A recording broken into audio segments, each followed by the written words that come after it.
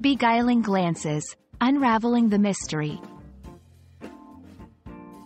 Hello, everyone. Welcome back to our channel. Today, we're diving into a fascinating English phrase, beguiling glance. This phrase is not only poetic but also rich in meaning. So, let's explore together what it entails and how you can use it in your conversations. First, let's break down the word beguiling. It's an adjective that describes something or someone that is charming, attractive, or enchanting, often in a somewhat deceptive way. The root word here is beguile, which means to charm or enchant someone, sometimes in a deceptive way. It's about capturing someone's attention or admiration through charm.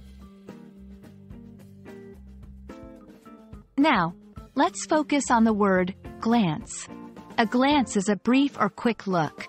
It's more fleeting than a stare but still powerful enough to convey emotions or intentions. When we talk about a glance in literature or everyday conversation, it often carries a weight of unspoken feelings or messages. When combined, beguiling glance refers to a look or a brief eye contact that is enchantingly or irresistibly charming. It's often used to describe a situation where someone catches another person's attention through a very brief but impactful look. This phrase can be found in literature to describe a moment of romantic or mysterious attraction. To get a better grasp, let's see some examples. 1. She caught his attention with a beguiling glance across the room. 2. His beguiling glance was enough to convey his interest without a single word.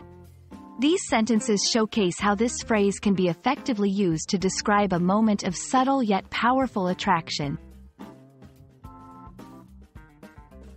And that wraps up our exploration of the phrase, beguiling glance. It's a beautiful expression that captures a moment of enchantment and allure, often with just a look. We hope this video helps you understand and use this phrase confidently in your English conversations. Thanks for watching, and see you in our next video.